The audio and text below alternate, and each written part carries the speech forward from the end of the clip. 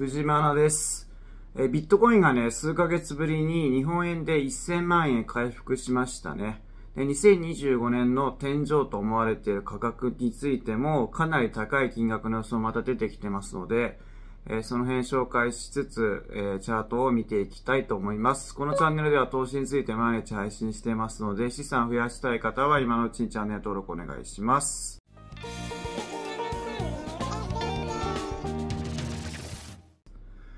はい。えっと、まず、昨日の動きからでおさらいしていきます。えっと、ビットコイン縦玉が1年ぶりの高水準に急上昇。価格は一時6万8000ドルに迫るということで、6万7950ドルぐらいまで確か行きましたよね。はい。で、ビットコイン先物の未決済縦玉が、まあ、かなり今上がっている状態です。このね、あの、緑色の、えー、ものが縦玉の大きさなんですけど、かなり大きいですよね。去年の12月並みに大きくなってきています。まあ、やっぱりどっちかというとやっぱ強気でロングしているという人が多いようなので、まあ、上昇はしそうですが、まあ、どっかね、下がってきたタイミングで、ロングのロスカット巻き込んで急落するみたいな動きとかも逆に発生しやすいので、まあ、そこは注意した方がいいでしょう。でもやっぱりその未決済の縦玉多いってことは今ビットコインに関心がある人が多いっていうところになるので、えー、いいところだとは思います。はい。えっと、あと相場については、えー、中国がですね、えっと、3年間で約125兆円の、えー、追加追加資金を調達するということは言ってると。えー、調達の目的は減速している中国の景気を支援するためと。国家の大規模な金融緩和策は仮想通貨とかね、リスク資産にも追い風になるので、まあ、結構、ね、仮想通貨の価格にとってもプラスの動きになると思います。えっと、国債をまあ大量に発行して、えー、金融緩和をするということですね。はい。まあ、このニュースもね、昨日のビットコインの上昇に多少はね、役に立ったんじゃないかなと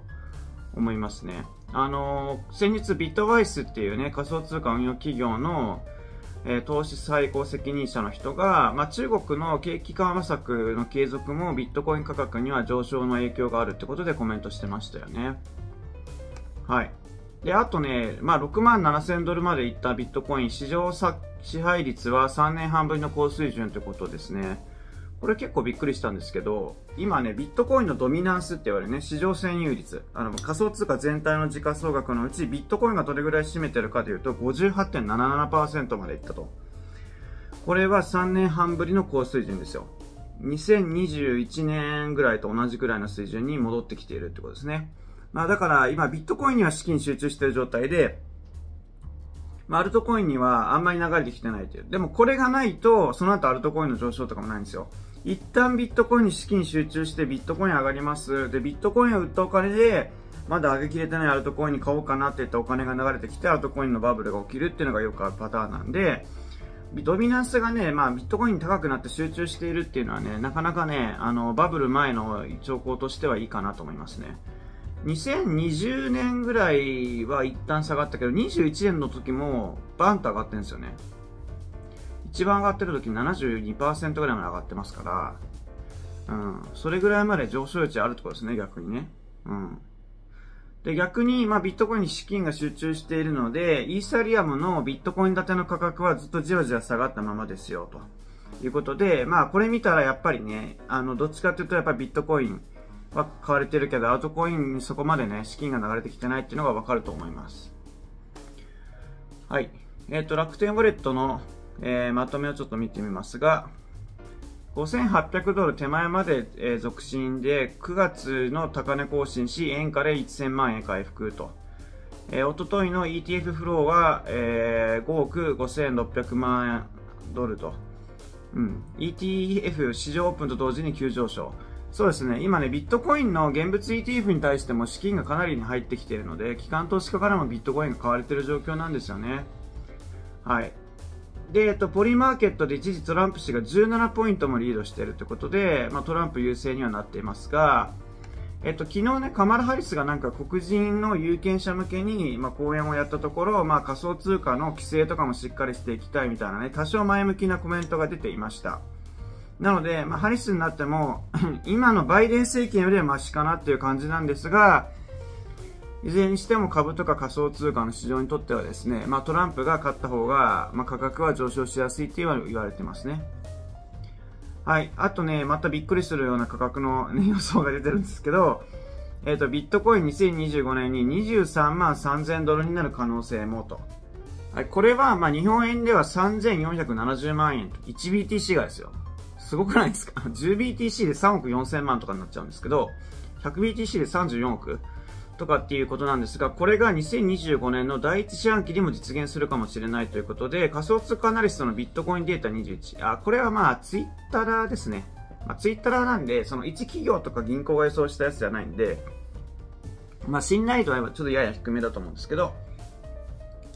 えっと、RSI を用いてビットコインが20万ドル以上になるという大胆な予想ですね。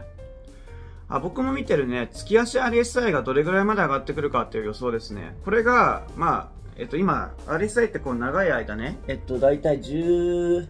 15年ぐらいの間でずっとこうチャンネルになって、ばあの半減期の翌年にこう天井をつけるみたいな動きになってるんですけど、まあ、その天井が、まあ大体ね、RSI 月足で88.6ぐらいまで上がるんじゃないかと。で、月足で88.6ぐらいになる時の価格が25万ドルと。えー、いうことなんで、なんか割とね、そういうデータを用いた予想だったら、まあそれぐらいになるかもしれないなとちょっと、えー、思えそうですよね。はい。ビットコインの RSI はまだまだ成長の余地があると。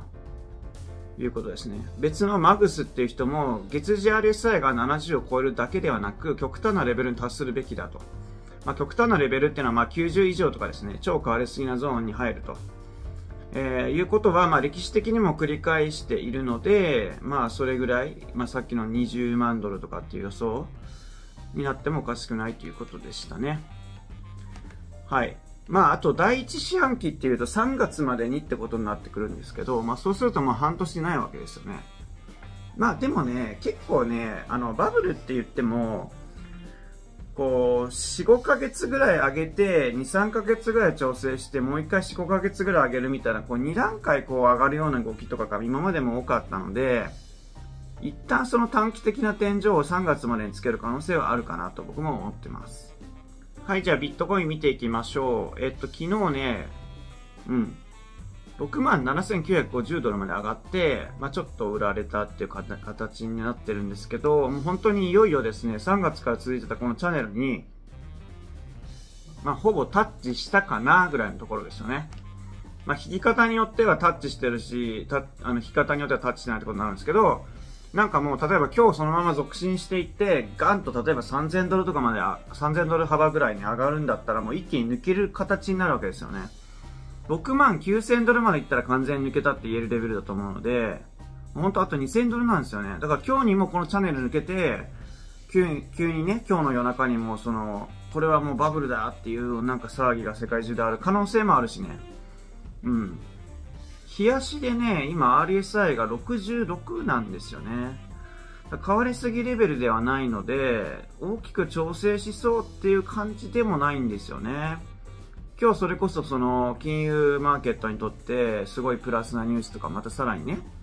その昨日の中国のその景気刺激策みたいなやつが出ると、ドカッとか上がってね、7万ドルとかってなる可能性も全然あると思います。うん。でも早ければ10月中にも使用されたかねとかね、11月ぐらいに使用されたかねとか、全然あり得る形はしてますが、でもチャンネルをしっかり上に抜けるまではあんまりね、楽観しない方がいいかなというのは思いますけどね。まあ、とりあえず上昇トレンドなのは間違いないでしょう。はい、じゃあイーサリアムです。イーサリアム2600ドルまで行ってますが、まあまだちょっとこっちはしっかりした上昇トレンドって感じではないですね。えっ、ー、と、ボックスレンジが続いている状態だし、日足の移動平均線2つに阻まれている状態になっています。はい、ソラナの方もですね、まあ昨日はちょっと陰線出てしまったし、なんか今ね、この160ドルぐらいからこう斜めにこうちっちゃい三角形三角形の中にちっちゃい三角形みたいなのができてるような感じがしますので、まあ、昨日タッチしたラインとかっていうのはちょっとレジスタンスされやすいみたいですね。はい。まあ、ビットコインが強気になればこっちもドカッと上に抜けてくるでしょう。はい。えー、あとね、水がね、なんか内部のメンバーが590億円相当の水を売却したとかっていうことが騒動になっていたんですが、まあ一応ね、水ファンデーションっていうか、あミステンラブスか。ミステンラブスの方では、えっと、この個人は、その水財団の人じゃないからっていうことで否定はしてるんですよね。でもね、イーサリアム財団とかもそうなんですけど、いつの間にか高値になったら勝手に売ってたりするんですよ、仮想通貨業界ってね。まあ、結局はビットコイン以外のコインっていうのは誰かが管理してるので、組織的にね。だからそういう意味で中央集権になりきってないんですけど、うん。やっぱりメンバーも自分たちが儲かりたいから高くなったら売るっていうのをね、やったりとかするんですよね。だからまあこれ否定はしてるんだけど、僕はちょっと半信半疑ですね。こういうニュースについてはね。うん。えっと、水位の方はですね、ちょっと調整しまして、えっと、2.36ドルまで行ったんですけど、今2ドルジャストぐらいまで下がってきてますね。ちょっと怪しい雲きですよね。やっぱりこの、紫色のさ、平行チャンネルタッチしたらちょっといきなり弱気になってきた。もうすでに10%以上下げてるので、やっぱり抜け切らずに大きな調整するっていうパターンもやっぱね、まあ考えとかなきゃいけないんですけど、まあまだね、ちょっと下落トレンド入ったっていうほど下がってはないので、結構こう斜めにね、引けるラインとかまだ割ってないですよね。うん。まあちょっと怪しい小巻きだとは思いますね。その売却騒動とかもあったからね。はい、あと PolitiFi どうでしょう？えっと、トランプの MAGA はあんまり動きないですね。一応なんかそのね、あの、 Polymarket ではトランプリードとは言われているものの、まあ、そこまでね、トランプの、えー、ミームコイン、まあ、上昇トレンドに入ってる感じはするし、こう、移動平均線じゃない、こう、トレンドラインにサポートされて、ね、あの、底堅くはいってるんですけど、こう、しっかりしたビットコインみたいな上昇は生まれてきてないって感じなので、まあ、さっきやっぱり、あの、ちょっとまとめ貼りますけど、まあ、ビットコインが、まあ、1000万円超えたぐらいから、えっ、ー、と、市場戦率ね、あの、ドミナンスの方がね、えー、3年半ぶりに高くなってたりとかするので、まあ、ビットコイン中心に今上がってるって状態ですね。まあ、アルトコインがバブルですっていうレベルではないです。まだ大底張ってるって状態で、アルトコインが下がらなくはなったけど、上がってもないよねっていう感じの、まあ、相馬ですよね。だからやっぱりビットコインが史上最高値超えてからじゃないと、アルトはなかなか上げきらないのかなと思いますので、まあ、アルトについてはまだね、えー、買い増しチャンスとまあ言えるかなとは思います。あまあ、ビットコインもね、まあ、将来価格考えたら別どこでも買い増ししてもいいと思うんですけどね。あとは、えっと、大統領選挙はまあトランプが優勢になってるけど、ハリスもその仮想通貨関連のまあ規制やっていくって話してるし、あとはまあ中国が120兆円3年間でね、えー、金融緩和やっていくので、まあ、そこも仮想通貨に多少お金流れてくるでしょうということでまとめたいと思います。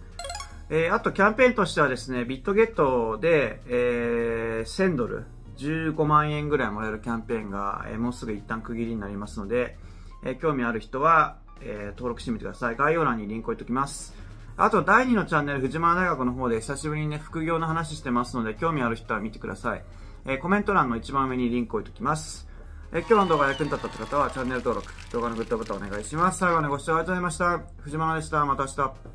仮想通貨投資なら大人気の取引所バイビットがおすすめ。200種類以上のゲーム取引とレバレッジ取引が可能で、期間限定で仮想通貨がもらえる入金キャンペーンもやってるよ。手数料が安くなる招待コードが付いたリンクはコメント欄の一番上と動画の説明欄にあるよ。また、藤原の YouTube メンバーシップなら、毎週限定のコラムや動画が見れたり、毎月質問に必ず答える質疑応答動画が見れるよ。メンバーぜひ入ってみてね。